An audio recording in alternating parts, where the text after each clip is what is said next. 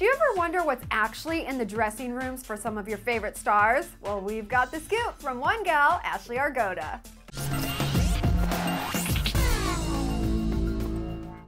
Hi guys, and you are back at the Clevver TV headquarters. I'm Dana Ward, and today we're dishing about Ashley Argota's dressing room.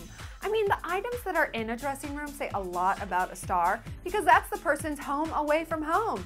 Thanks to our friends at Dream Magazine for the Q&A deets, we found out that Ashley's friends and family are oh so dear to her.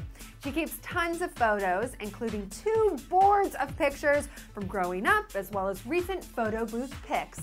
And then Ashley has a digital frame with photos from True Jackson VP and her newest Nickelodeon show, Bucket and Skinner's Epic Adventures.